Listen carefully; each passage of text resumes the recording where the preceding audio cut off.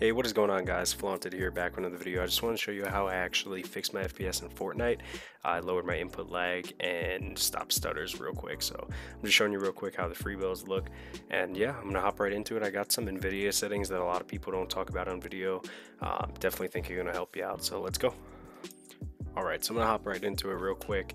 Uh, so number one, I'm to show you the Fortnite in-game settings, and then we're to hop into that NVIDIA settings that I was telling you guys about. So real quick, you're to go into your uh, display mode.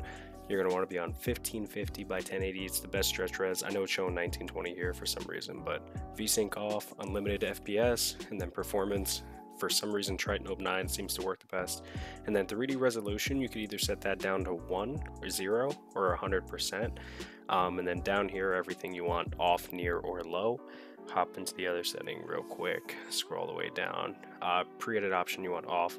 And then replays, you're going to turn all that off. Down here, energy saving and Windows energy saving.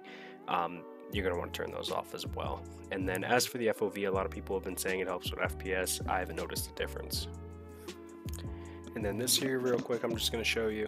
Um, a lot of people don't talk about it. You're going to turn um, right here you're going to slide that all the way to performance and then go back to let the advanced 3D um, make your decisions. And then over here you're going to go down to uh, G-Sync. You want to make sure that's on.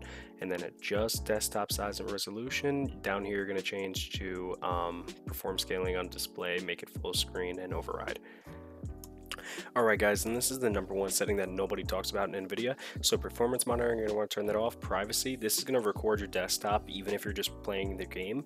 Um, that's something you're going to want to turn off every time I'm telling you it's going to improve your input delay. Like no questions about it. Down here, video capture, you want 1080p 60 FPS. And then highlights, you could turn that off. Broadcast live off, and then you should be good to go.